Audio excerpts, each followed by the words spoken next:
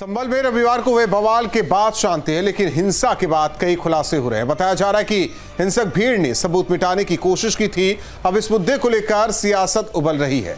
प्रशासन ने संभल के लिए बाहरी लोगों के लिए दरवाजे कुछ दिनों के लिए बंद कर दिए हैं, लेकिन राहुल गांधी और अखिलेश यादव दोनों ही संभल जाने की बात कह रहे हैं।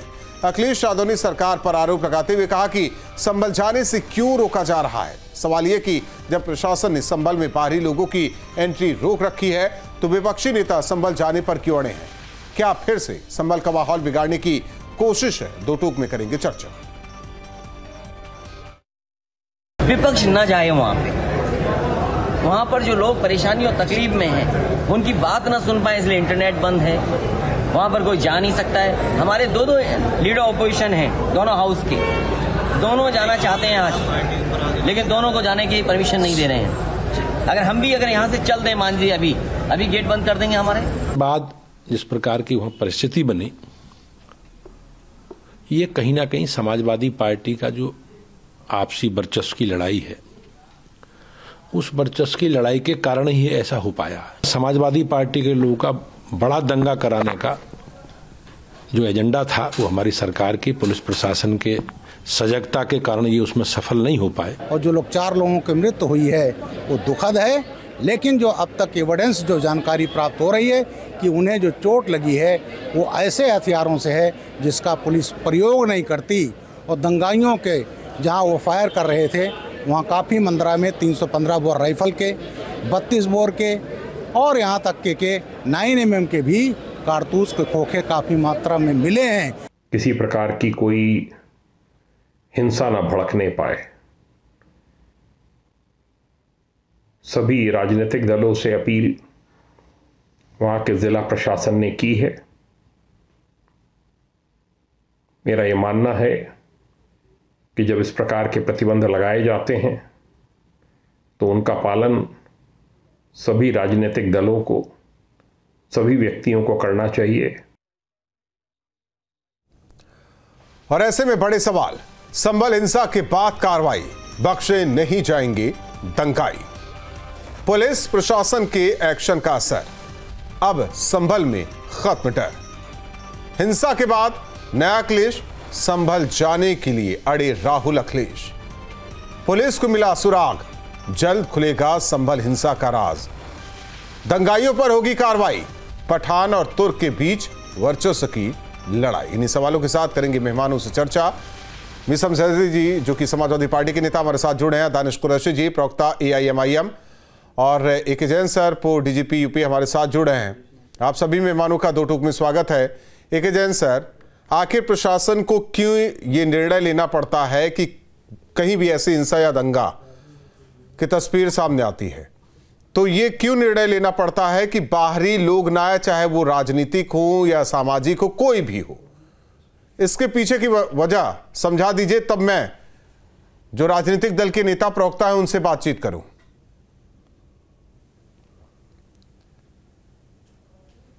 जन आवाज़ आ रही है आपको? मिसम जैदी जी, आखिर क्यों अड़े हैं? आप डेलीगेशन भेजने की बात, नेता वहाँ जाने की बात, अभी तो माहौल तो शांत होने दीजिए, इसके बाद सब जा सकता है।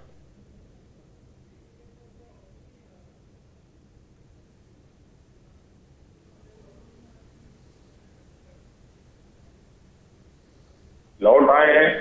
अगर हम किसी पीड़ित को मिलने जा रहे हैं अगर उसके जख्मों पर मरहम लगाने का काम करने जा रहे हैं तो इसमें कौन सी बुराई है? हम दंगा तो कराने नहीं जा रहे हैं ना। दंगा होने के बाद जिन दंगाइयों ने, जिन लोगों ने इस तरह का माहौल खराब करने की कोशिश की है, आपने उनके खिलाफ क्या एक्शन लिया?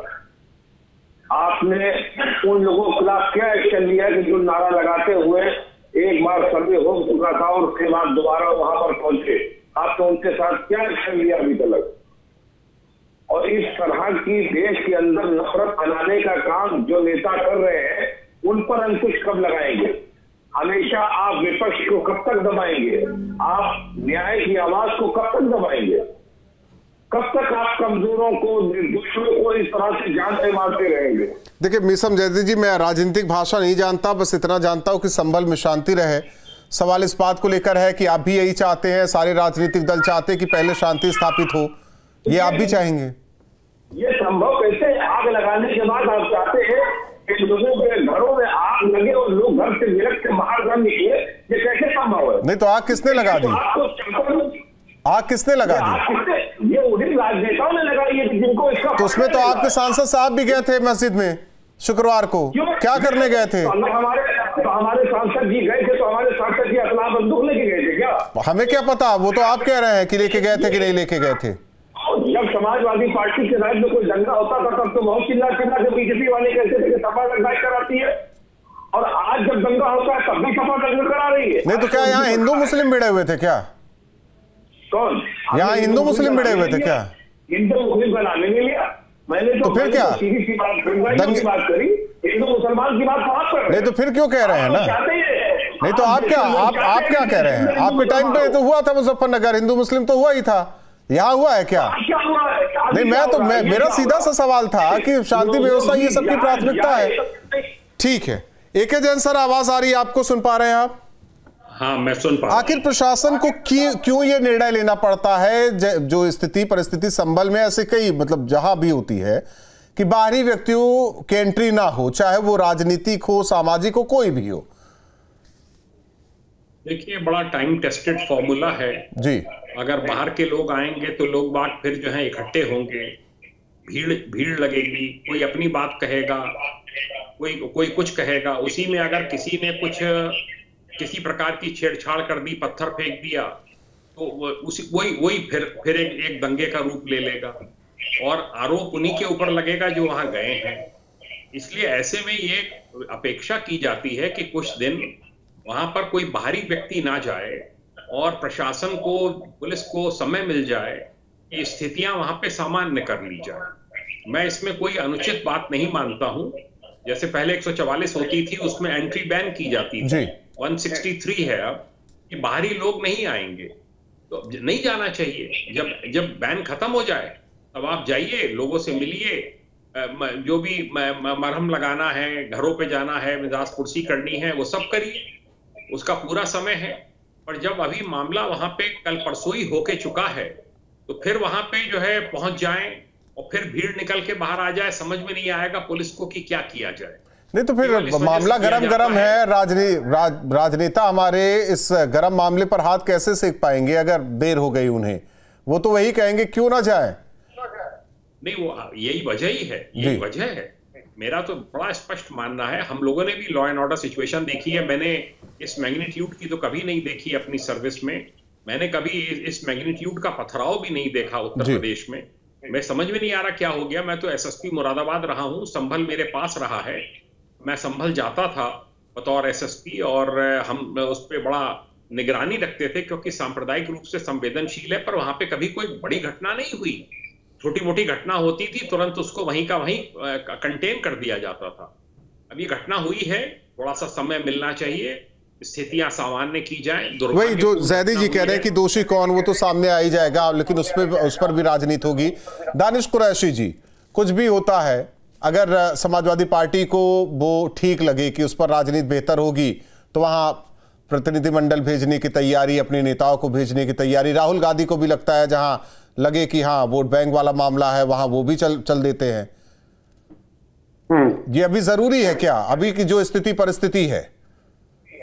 देखिए अब सबसे पहले तो ये वीडियो देखिए। आप अच्छे से देखिए ये वीडियो को। दो तीन मिनट देख लीजिए आप अच्छे से उसको।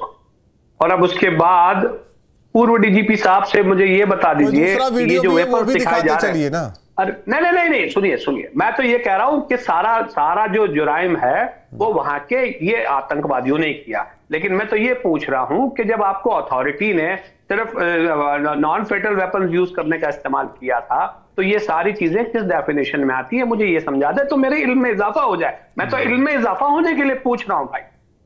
जब सवाल ये जब सवाल ये आ क्या जब जब, सवाल ये है कि वहाँ के एसपी साहब जो हैं वो ये कहते हैं कि भाई हम लोगों को जो आदेश मिले थे नॉन फेडरल वेपन यूज़ करने के थे तो नॉन फेडरल की उसमें उन्होंने बताया कि कोई इंसास इंसास इस्तेमाल होता हुआ कोई राइफल दिखा दे तो उसे भी भी बेचना मिलेंगे। ये रहे ना सारे ये सारे ये सारे नॉन फेडरल वेपन है। हाँ तो वो तो कह रहे हैं कि जाइए ना आप लेकर जाइए विवेचना में से भी वो डालेंगे। इस, इसीलिए इसीलिए तो रोका जा रहा है ना। जो जो रोका जाने की कोशिश की जा रही है ना वो इसीलिए रोका जा रहा है कि परिस्थितियों का निर्माण- जब आपको परमिशन नहीं थी इस तरीके के वेपन्स यूज़ करने की कि जिससे इंजरी हो ये अगर वेपन्स वहाँ इस्तेमाल हो रहे थे उसके बावजूद भी आप ये कह रहे हैं कि इसकी रंजिश है उसकी रंजिश है मुझे लगता है कि ये सलीम जावेद वाली स्टोरी मुझे लगता है ज़्यादा दिन कारगर नहीं रहेगी। चीज़ें उजागर होंगी और सामने आएँगी। मैं तो ये पूछ रहा हूँ कि कॉम्पिटेंट अथॉरिटी ने जो डायरेक्शन दिए थे उसमें अगर वहाँ की जो जिम्मेदार अधिकारी थे वो फिट नहीं बैठे तो उनके खिलाफ अब तक कार्रवाई क्यों नहीं हुई? या होगी या नहीं होगी? बस सिर्फ़ इतना डॉक्टर अवधेश उपाध्याय जी बीजेपी नेता हमारे साथ जुड़े हुए हैं। डॉक्टर अवधेश उपाध्याय जी जी। आप लोग कार्रवाई करते रहिए जो भी दंगाई हो जो हिंसा करने बवाली हो। लेकिन अधिकारियों पर कार्रवाई क्यों नहीं हो रही? ये चाहते हैं कुरैशी साहब भी चाहते हैं मिसम जैदी जी चाहते हैं राहुल गांधी अखिलेश यादव सब चाहते हैं। जो कलेक्टर साहब है कलेक्टर साहब कलेक्टर साहब, है कलेक्टर साहब की हूँ। बात है, हाँ। की क्यों बात कर रहे हैं? हाँ बताइए ना दानिश कुरैशी का क्यों मान रहे हैं? आपको जो कॉम्पिटेंट अथॉरिटी थे उसकी बात। और ऊपर से आप लोग रोक रहे हैं इन लोगों को जाने के लिए। वहाँ मरहम कैसे लगाएँगे? पीड़ित परिजनों से मिलेंगे कैसे? पीड़ित ही है ना। देखिए तो राहुल जी संबल में जो हिंसा हुई है, बहुत ही दुर्भाग्य और उससे भी बड़ा दुर्भाग्य ये बात है कि दो लोगों का, जो दो गुट है वहाँ पे बड़े बड़े एक सांसद साहब का है, विधायक साहब का है इनकी जो आपसी रंजिशन जो थी, उसको जो है एक हिंसा का रूप किया गया इसमें। ये पूरी तरह स्पष्ट हो चुका है। और अभी दानिश भाई जो कह रहे थे, पोस्टमार्टम की रिपोर्ट ने ये साफ़ कर दिया कि जो गोलियाँ लगी हैं, वो जो है कट्टे की गोलियाँ हैं। अब कट्टा कैसा होता है ये समझा सकते हैं आप नहीं आप कहना तो क्या चाह रहे हैं कि प्रशासन को सामने रखकर आपसी रंजिश मिटाई गई है ये जो आप आ, ये जो नई चीज़ें निकल कर सामने आ रही है? नहीं नहीं राहुल जी बिल्कुल देखिए मैं नहीं कह रही ये पोस्टमार्टम की रिपोर्ट जो है न्यूज़ चैनल्स पे उसके आधार पर मैं बताऊँ नहीं जो वर्षों की लड़ाई की बात कह रहे हैं आप। मैं बट अरे आप जो मरे हैं वो हैं मारने वाले अलग गुट ये तो साफ़ नज़र आ रहा है हो रहा है। तमाम चैनल दिखा रहे हैं ये बात को। उन्हीं के आधार पर मैं ये ये तो केवल जो आपसी जो अपना वर्चस्व जो लड़ाई है, जो में एक सांसद साहब हैं फ़र्क साहब, और साहब महमूद जी? ठीक है? उन्हीं के आप लोग मर गए, कुछ अब ये बात कह रहे हैं, देखिए, जब से हिंसा हुई है, झूठ फैलाने का। अब एक भाई कह रहे थे, कि भाई एक बार जब सर दोबारा क्यों गए? पूछ सर्वे करेगा।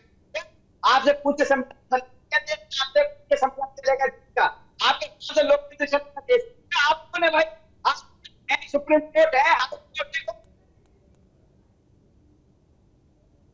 पूछिए इनसे। अरे भाई मेरा एक सवाल है। ठीक है दानिश भाई- जी। ठीक है सवाल मैं- सवाल पूछिए आप। देखिए देखिए मैं मैं ये कह रहा हूँ कि हाँ। भारतीय जनता पार्टी के मुताबिक या वहाँ जो भी अधिकारी थे पुलिस अधिकारी की बात कर रहा हूँ उनके मुताबिक चाहे जो भी चीज़ें थियरी पोस्टमार्टम में आई हो।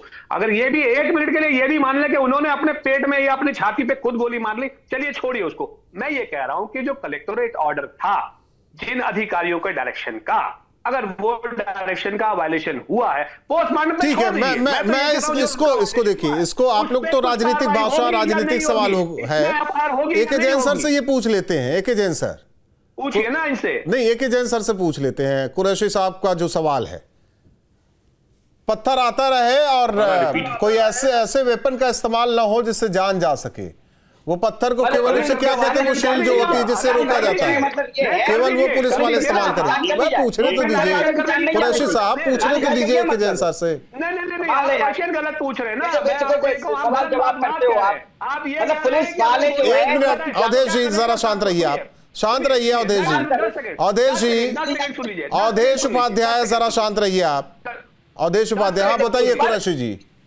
मैं ये कह रहा हूँ कि वहाँ की परिस्थिति का एक एक पल की इंफॉर्मेशन कलेक्टर साहब के पास होनी चाहिए और उनको उनके मुताबिक उन्होंने डायरेक्शन दिया होगा कि किस तरीके का वो बल का प्रयोग किया जाए। एक आप सर एक हैं कि सर आपने मतलब सुन लिया ना सुन लिया ना कुरैशी जी। गोलियाँ नहीं चलेगी। एक एक पल की कि मतलब आ, कितनी देर में भीड़ पहुँची कितनी देर में उन्होंने पत्थर उठाया कितनी देर में फेंकने लगे किस किस तरह मैं अरे बात तो सुनिए दानिश कुरैशी जी। ज़िम्मेदारी दानिश कुरैशी जी बात तो सुना कीजिए।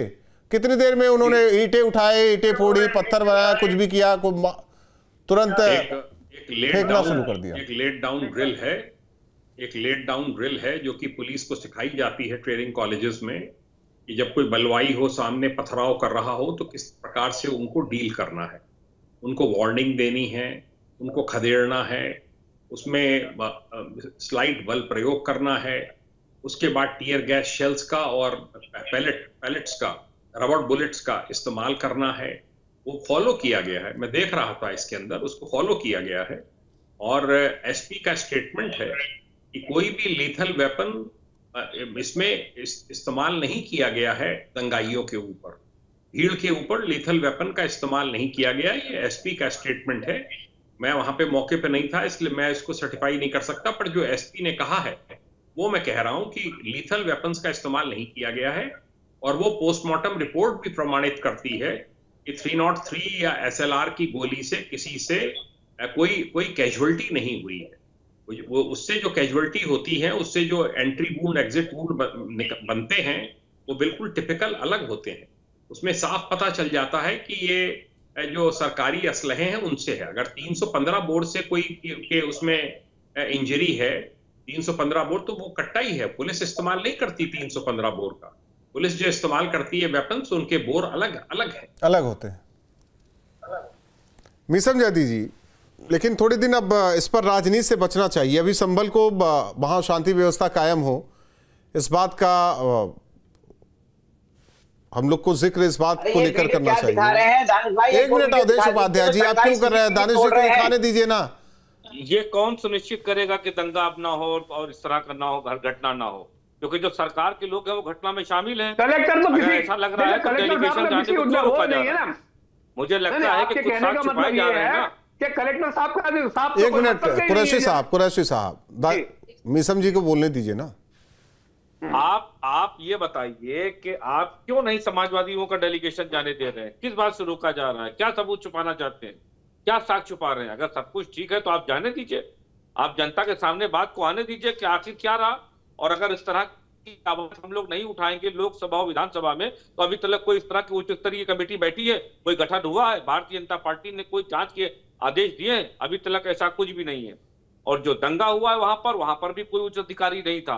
और जिस तरह के वीडियो आए हैं सामने एक विष्णु जैन नामक एक वकील के साथ में लोग थे और वो नारे का उद्घोष करते हुए और, और इस तरह के लोगों को उकसाने का काम करते नज़र उपाध्याय जी। जिसकी वजह से ये दंगा हुआ है अवधेश देश उपाध्याय जी। के खिलाफ कार्रवाई हो रही है जी तो ये जो कह रहे हैं करना चाहिए ये बिल्कुल सरासर झूठ बोल रहे हैं हर चीज़ इनकी झूठ मैं संभल का निवासी है। मुझे एक आप सकते सच्चे हैं बाकी सब झूठा है भाई भारतीय जनता सुनिए आप। पार्टी और उनके नेता मेरी बात आप मेरी बात सुनिए आप अधिकारी मुझे झूठ बोल रहे हैं। ना करिए। अरे तो यार जो मस्जिद है तो जो? ढांचा अवधेश उपाध्याय जी अवधेश उपाध्याय तो राहुल गांधी या समाजवादी पार्टी का डेलीगेशन इसलिए जाना चाहता है। कि वहाँ सबूत इकट्ठा करे वहाँ फ़ोटो खींचे। वो तफ्तीश करना चाह रहे हैं। अरे तो एक बात बताइए ना सबूत तो आ रहे हैं। नहीं रहे हैं। ये वीडियो दिखा रहे हैं बार बार भाई अरे वो वीडियो दिखाइए ना। नेतागिरी मत करिए। जो दंगाई सीसीटीवी तोड़ रहे हैं? पक्ष के नेता वो भी दिखाइए आप कहाँ है वो वीडियो? वो भी वीडियो दिखाइए तरह किस का तरह से पथराव किया जा रहा है पुलिस प्रशासन पर ये नारे पुलिस प्रशासन घर परिवार नहीं होता क्या? आप बीवी बच्चे नहीं पार्टी होते हैं का क्या? सिर्फ़ एक देश के अंदर नफरत डालो फूट करो और राज करो। और ये ज़्यादा दिनों तक टिकने वाला नहीं है। जनता इसको समझ रही है।